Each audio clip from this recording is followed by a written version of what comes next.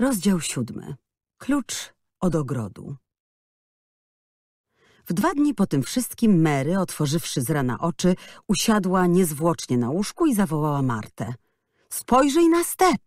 Spojrzyj! zawołała. Deszcz ustał, a szarą mgłę i obłoki w nocy wiatr rozwiał. Wiatr także ucichł, a ponad stepem jaśniała świetna, ciemno-szafirowa kopuła niebios. Mary nigdy, nigdy nie myślała, by niebo mogło być tak szafirowe. W Indiach bywało rozpalone, płomienne. Tutejsze miało głęboki, chłodny błękit, niby jeziora bezdennego, a tu i ówdzie wysoko, wysoko płynęły małe, śnieżno-białe obłoki. Rozległy obraz stepu sam pobłękitniał, porzucając swą ciemną, szaro-purpurową, smutną szatę. Aha, rzekła Marta z radością. Huragan ustał. Zwykle tak bywa o tej porze roku. Jedna noc i już go nie ma, jakby udawał, że nigdy tu nie bywa i być nie myśli. A ja myślałam, że w Anglii ciągle pada i ciemno, odparła Mary. Oj, co to to nie, rzekła Marta, siadając na piętach wśród swych szczotek i czernidła. Yorkshire to najsłoneczniejsze miejsce na świecie, jak słońce świeci. Zaraz mówiłam, że tylko poczekać trochę, to już panienka stepy polubi. A niech tylko panienka poczeka, aż zakwitnie janowiec i żarnowiec żółty, a wrzosy czerwone, a niech no motylki zaczną latać, a pszczółki brzęczeć, a skowronki śpiewać. To panienka o wschodzie słońca będzie chciała w step polecieć i dzień cały po nim biegać jak dik. A czy będę mogła tam pójść? Spytała Mary smutno, patrząc przez okno na daleki błękit. Było to dla niej nowe, potężne, przedziwne i tak niebiańsko-błękitne. Bo ja wiem, odparła Marta, panienka nigdy nóg nie ćwiczyła, odkąd panienka żyje na świecie, tak mi się coś zdaje. Nie uszłaby panienka pięciu mil angielskich, bo pięć mil jest stąd do naszej chatki. Chciałabym bardzo widzieć wasz dom. Marta ze zdziwieniem i ciekawością spojrzała na nią, po czym zaczęła znów czyścić kominek. Pomyślała sobie, że ta drobna, mała twarzyczka nie wygląda wcale na taką skwaszoną, jak owego pierwszego ranka, kiedy tu przybyła. Była raczej podobna do małej Zuzi, gdy ta o coś bardzo prosiła. Poradzę się matki co do tego, rzekła. Ona jest jedną z tych, co zawsze wiedzą, jak się do czego wziąć. Dzisiaj moje wychodne i idę do domu. Oj, jakam też rada. Pani Medlock bardzo matkę szanuje. Może będzie matka mogła z nią pomówić. Lubię twoją matkę, rzekła Mary. Wierzę, przyznała Marta, nie przerywając czyszczenia. Nigdy jej nie widziałam, dodała Mary. Wiem, odrzekła Marta. Usiadła na piętach, potarła koniec nosa ręką, jakby zdziwiona na chwilę, po czym dodała stanowczo tak, matka jest dobra, pracowita i wesoła i porządna, że nie można jej nie lubić. Czy ją się znaczy nie. Jak w moje wychodne idę do domu, to skaczę z radości, jak już na wrzosy wchodzę. I Dika też lubię, a nie widziałam go nigdy, dodała Mary. Ano, to ci powiedziałam, panience, odparła Marta z godnością, że nawet ptaki go lubią i króliki, i owce dzikie, a nawet i lisy. Ciekawa jestem, co by Dick o panience powiedział, dodała patrząc na Mary w zamyśleniu. Nie lubiłby mnie, powiedziała na swój dawny, szorstki sposób. Nikt mnie nie lubi. Marta znów się zamyśliła. A czy panienka lubi samą siebie? Zapytała takim tonem, jakby rzeczywiście chciała wiedzieć. Mary zawahała się chwilkę i zastanowiła się. Doprawdy wcale nie, odrzekła, ale nigdy przedtem o tym nie pomyślałam. Marta skrzywiła się zabawnie, jakby przypominając coś sobie. Matka tak do mnie raz powiedziała. Stała przy bali, a ja byłam zła i zaczęłam wygadywać na ludzi, a ona odwraca się do mnie i mówi, ty mała czarownico, co ty sobie myślisz, żeby mówić tego nie lubię, a tamtego nie lubię, a siebie lubisz? Roześmiałam się i zaraz się opamiętałam. W doskonałym humorze pobiegła do domu, skoro tylko podała Mary śniadanie. Miała zrobić pięciomilowy spacer i pomóc matce uprać i upiec chleb na tydzień i całą duszą się radować. Mary pod jej nieobecność czuła się więcej samotna niż zwykle. Wyszła do ogrodu jak mogła najśpieszniej i najpierw obiegła ogród z fontanną dziesięć razy dokoła. Liczyła starannie, ile razy przebiegła, a gdy skończyła, poczuła się w lepszym humorze. Słońce nadawało całkiem inny wygląd całemu ogrodowi. Wysoka, błękitna kopuła niebios zaciągała się i nad Misselthwaite. A Mary w górę podniósłszy główkę i patrząc w niebo, rozmyślała nad tym, jakie by się miało uczucie, żeby tak można położyć się na jednym z owych śnieżno-białych obłoczków i hen w dal popłynąć.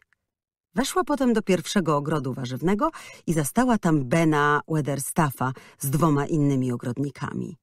Wydawać by się mogło, że zmiana powietrza i na niego dobrze wpłynęła. Pierwszy do niej zagadał. Wiosna się zbliża, rzekł. Czuje panienka? Mary poczęła wciągać noskiem powietrze i zdawało jej się, że poczuła. Czuje coś ładnego, świeżego, wilgotnego, odparła. To ta kochana, bogata ziemia, odparł ogrodnik, kopiąc dalej. Wesoła ona, że już gotowa do przyjęcia ziarna w swe łono. Wesoła ona, jak czas siewu nadchodzi. Nudno jej zimą, jak nie ma nic do roboty. W ogrodach kwiatowych zaczną roślinki kiełkować. Słoneczko je ogrzewa. Niedługo już zobaczy panienka, jak małe, zielone kiełki z ziemi czarnej wychodzą. A co z nich będzie? spytała Mary. Krokusy, pierwiosnki, narcyzy. Znaje panienka? Nie, nie znam. Po deszczach w Indiach wszystko jest zielone, rzekła Mary. I mnie się zdaje, że tam w jedną noc wszystko wyrasta. Nasze kwiatki nie wyrastają w noc jedną rzekł Ben Weatherstaff. Będzie panienka musiała na nie poczekać. Tutaj wyrosną trochę wyżej, tam znów wypuszczą parę kiełków więcej, tu jednego dnia listek rozwiną, innego dnia inny, a panienka niech ich pilnuje. Ach, i jak chętnie! wykrzyknęła Mary. Niebawem usłyszała cichy lot w powietrzu i wiedziała od razu, że to Gil. Był strasznie śmiały, ożywiony i skakał tak blisko jej nóg i przechylał główkę i tak przebiegle na nią patrzył, że dziewczynka spytała ogrodnika, jak myślicie, czy on mnie pamięta? Czy pamięta panienkę? Odrzekł Ben oburzony. Toć on zna każdy głąb kapusty w ogrodzie, a nie miałby znać ludzi? Przedtem nigdy on tu nie widział dziewczyny, więc teraz sobie postanowił panienkę poznać. Przed nim to i nie trzeba nic ukrywać. A czy w tym ogrodzie, w którym on ma gniazdko, też już roślinki puszczają kiełki? Indagowała Mary. W jakim znów ogrodzie? Zamamrotał stary, przybierając swój niemiły wygląd. No w tym, gdzie to rosną stare krzaki róż. Nie mogła powstrzymać się od pytania, tak bardzo bowiem pragnęła wiedzieć coś pewniejszego. Czy tam wszystkie kwiatki umarły? Czy też jeszcze niektóre ożywiają się na wiosnę? A czy są tam zawsze róże? Niech panienka zapyta jego. I Ben Weatherstaff skinął głową w kierunku Gila. On jeden coś o tym wie. Nikt inny nie zajrzał tam od dziesięciu lat. Dziesięć lat to strasznie dawno, myślała Mary. Ona się urodziła dziesięć lat temu. Odeszła zwolna, pogrążona w myślach. Zaczęła lubić ów ogród, tak samo jak zaczęła lubić Gila i Dika i matkę Marty. Zaczęła lubić i Martę.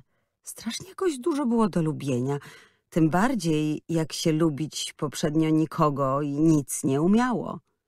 O Gilu myślała jak o osobie. Poszła na swój ulubiony spacer wzdłuż długiego, okrytego bluszczem muru, ponad którym dostrzec mogła wierzchołki drzew. A kiedy drugi raz przechodziła wzdłuż muru, spotkało ją coś dziwnego i podniecającego, a wszystko przez ogrodnikowego Gila. Usłyszała świergot, a spojrzawszy na ogołocony kląb po lewej ręce, ujrzała ptaszka skaczącego i udającego, że wydziobuje coś z ziemi, żeby nie myślała, że za nią tu przyleciał. Ale Mary wiedziała, że właśnie za nią podążył i zdumienie, a równocześnie radość taka ją opanowała, że poczęła drżeć. Więc mnie pamiętasz, pamiętasz, wołała radośnie. Jesteś najśliczniejszy na całym świecie. Świergotała, szczebiotała, przypochlebiała się, a on skakał i ogon rozkładał i ćwierkał. Zdawało się, że rozmawia. Czerwona kamizelka jego była jak jedwabna i drobną pierś wydymał i puszył się i był przy tym taki drobny, a taki śliczny, jakby rzeczywiście chciał jej pokazać, że to Gil może być podobny do człowieka. Mary zapomniała, że kiedykolwiek w życiu była rozkapryszona, gdy ptaszek pozwolił jej coraz więcej do siebie się zbliżyć i nachylić się i rozmawiać i usiłować wydawać dźwięki do świergotu jego podobne. Och, i pomyśleć, że on jej pozwolił tak blisko do siebie podejść. Wiedział on dobrze, że za nic na świecie nie wyciągnęłaby do niego ręki i nie wystraszyła najdrobniejszym ruchem. Wiedział, bo był jak prawdziwy człowiek, tylko z wszystkich ludzi najśliczniejszy.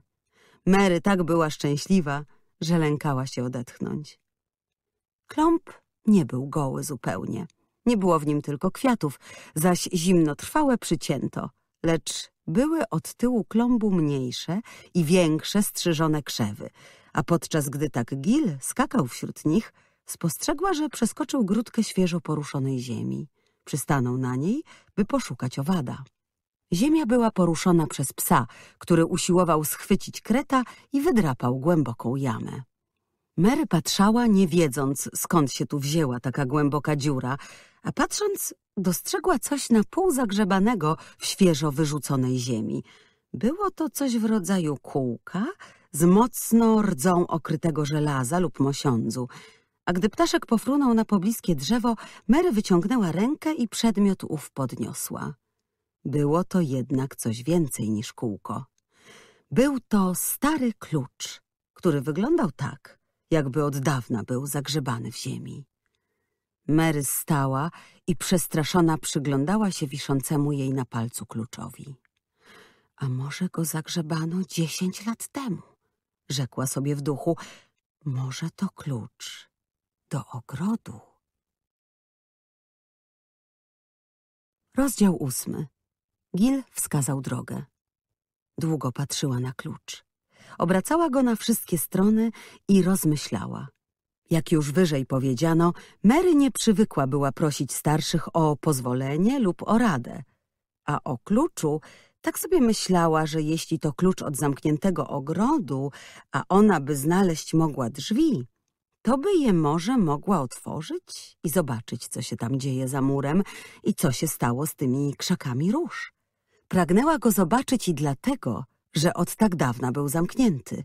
Wystawiała sobie, że musi on być odmienny i że coś niezwykłego musiało się w nim stać przez dziesięć lat.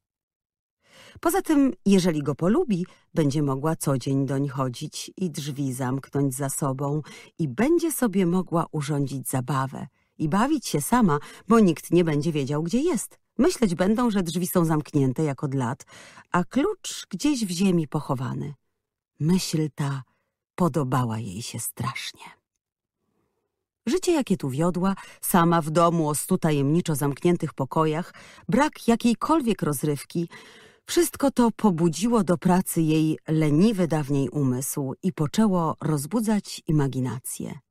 Nie ulega kwestii, że świeże, jędrne, czyste powietrze ze stepu przyczyniało się do tego niemało. Jak ono dało jej apetyt, a walka z wiatrem krew rozbudziła, tak fakty wzbudziły umysł. W Indiach było jej zawsze za gorąco, czuła się zbyt znużona i słaba, by pragnąć czegośkolwiek, lecz tu zaczynała chcieć i pragnąć nowych wciąż czynności. Czuła się już o wiele mniej kapryśna, choć nie zdawała sobie sprawy dlaczego. Włożyła klucz do kieszonki i poczęła chodzić tam i z powrotem. Zdawało się, że tu nikt nie przychodził prócz niej, mogła więc iść powolutku i patrzeć na mur, a raczej na okrywające go bluszcze. Bluszcz był największą przeszkodą w odnalezieniu drzwi. Jakkolwiek starannie się przyglądała, nie mogła nic dostrzec, prócz gęsto rosnących, świecących, ciemnych liści. Była strasznie rozczarowana. Opanował ją dawniejszy zły humor, gdy tak kroczyła wzdłuż muru, spoglądając żałośnie na rosnące za nim drzewa. Takie jej się to wydało głupie, żeby być tak blisko, a nie móc dotrzeć do celu. Wracając do domu, zabrała klucz z sobą, chowając go do kieszonki i postanawiając nie rozstawać się z nim nigdy, aby na wypadek, gdyby furtkę znalazła, móc ją niezwłocznie otworzyć. Pani Medlock pozwoliła Marcie przenocować w domu, wszakże nazajutrz od samego rana była już przy robocie, różowsza niż zwykle i w złotym humorze. Wstałam dzisiaj o czwartej, rzekła. Oj, jak też cudnie było na wrzosach, jak się ptaszki budzić zaczęły, a króliki gonić, a słoneczko wschodzić. I nie potrzebowałam całą drogę iść pieszo, bo mi pewien człowiek pozwolił przysiąść na wozie, więc użyłam ci ja, użyłam. Pełna była rozkosznych wspomnień z dnia ubiegłego. Matka była taka rada, że ją widzi, że prawie i pieczenie odłożyła na inny raz. Marta upiekła dla każdego dziecka ciastko z powidłami. Były jeszcze gorące, prosto z pieca, jak dzieci wróciły, a w izbie tak ślicznie pachniało świeżym pieczywem i ogień był dobry na kominie, więc wszystko aż piszczało z radości. A nasz Dick powiedział, że nasz dom taki śliczny, że i król mógłby w nim mieszkać. Wieczorem usiedli dookoła komina. Marta z matką łatały podartą odzież i cerowały pończochy, a Marta opowiadała rodzeństwu o małej dziewczynce, która przybyła z Indii i której usługiwali czarni i tak za nią wszystko robili, że teraz sama nie umie pończoszek włożyć na nogi. Oj, jak oni też lubią słuchać opowiadania o panience, rzekła Marta. Wszystko zaraz chcieli wiedzieć, i o czarnych, i o okręcie, na którym panienka przypłynęła. Nie mogłam się dosyć naopowiadać. Mary się zastanowiła. Opowiem ci jeszcze wiele różnych rzeczy przed twoim następnym wychodnym, żebyś miała więcej do opowiedzenia rodzeństwu, rzekła. Myślę, że radzi będą słyszeć, jak się jeździ na słoniach i wielbłądach i o polowaniach na tygrysy. O mój Boże! Wykrzyknęła Marta zachwycona. A to ci oni chyba głowę stracą z radości. I naprawdę panienka opowie? To będzie zupełnie tak, jakby widzieli takiego dzikiego zwierza, jakiego tu raz podobno pokazywali w York. Indie nie są wcale podobne do Yorkshire, rzekła Mary i zastanowiła się nad tym. Nie pomyślałam o tym nigdy. Czy Dick i matka twoja lubią słyszeć o mnie? Ano Dickowi to mało oczy na wierzch nie wylazły, odparła Marta. Ale matka to się martwi, że panienka jest tu taka samiusieńka i mówi, czy to jeszcze pan nie dał jej nauczycielki albo bony? A ja mówię, nie, nie dał, choć pani Medlock mówi, że da, jak o tym pomyśli ale też mówi, że może być, że i za trzy lata nie pomyśli o tym. Nie chce nauczycielki. Ostro rzuciła Mary. Ale matka mówi, że panienka już się powinna uczyć i mieć kogoś, co by na panienkę uważał. I powiada, a ty sobie pomyśl, jakby ci było w takim ogromnym, pustym domu, samej zupełnie, bez matki. Staraj się jak możesz, żeby ją zabawić. A ja powiedziałam matce, że się będę starała rozweselić panienkę. Mary spojrzała na mówiącą długo, poważnie. I rozweselasz mnie bardzo, rzekła. Lubię, gdy mówisz. W tej chwili Marta wyszła z pokoju i wróciła niebawem, niosąc coś pod fartuchem. Co też panienka powie, żem panience przyniosła prezent? Rzekła wesoło. Prezent? Zawołała Mary zdziwiona. Skąd z tego biednego domku można było przynieść prezent? Przejeżdżał koło nas taki Węgier, objaśniała Marta. Zatrzymał się przed naszymi drzwiami, a miał kociołki, rondelki, garnuszki i przeróżne rzeczy, lecz matka nie miała pieniędzy, żeby móc coś kupić.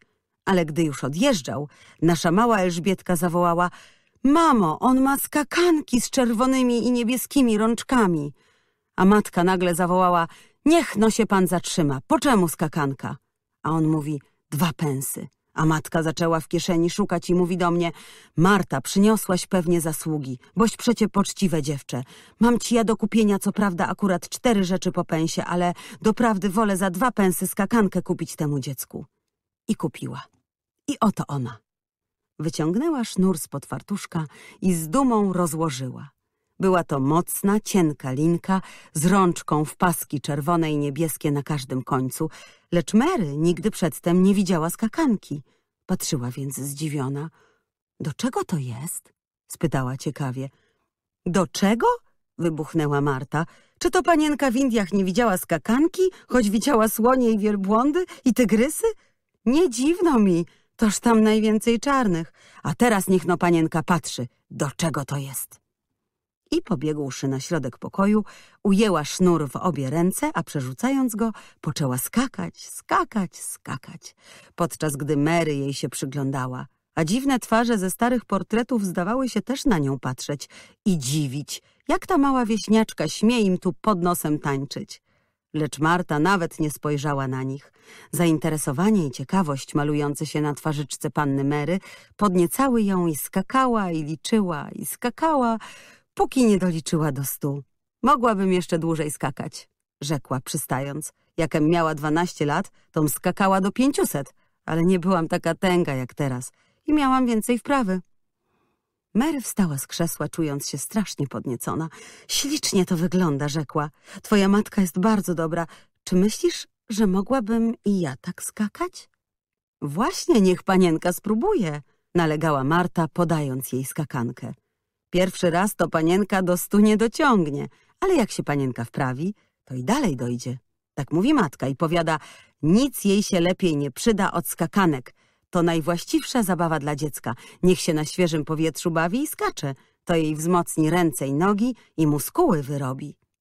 To prawda, że Mary nie miała herkulesowych sił, gdy zaczęła skakać. I nie szło jej zbyt zręcznie, ale tak jej się podobało, że jej żal było przestać. Niech no panienka się ubierze i idzie poskakać na dworze, rzekła Marta. Matka mi kazała powiedzieć, żeby panienka jak najwięcej na świeżym powietrzu się bawiła. Nawet choćby padało, trzeba się ciepło przyodziać i pójść. Mary nałożyła płaszczyk i kapturek i skakankę przerzuciła przez ramię. Otworzyła drzwi, by wyjść, lecz nagle coś sobie przypomniała i zwolna zawróciła. Marto, rzekła, to były twoje zarobione pieniądze. Te dwa pensy były twoją własnością. Dziękuję ci. Powiedziała to sztywno, bo niezwykła była ani dziękować, ani zwracać uwagę na to, że ktoś coś dla niej zrobił. Dziękuję ci. Powtórzyła, wyciągając rękę, nie wiedziała bowiem, co zrobić. Marta niezgrabnie potrząsnęła jej rękę, jakby zupełnie nie znała tej formy. Potem się roześmiała. Ech, panienka to taka mała stara, rzekła. Żeby to była nasza Elżunia, to bym nie była uściskała. Mary wyglądała na sztywniejszą niż zwykle. Chcesz, bym cię pocałowała? Marta zaśmiała się znowu. Ja nie chcę, odparła, żeby panienka była inna, to sama by może chciała, ale mniejsza o to. Proszę teraz pobiegać ze skakanką.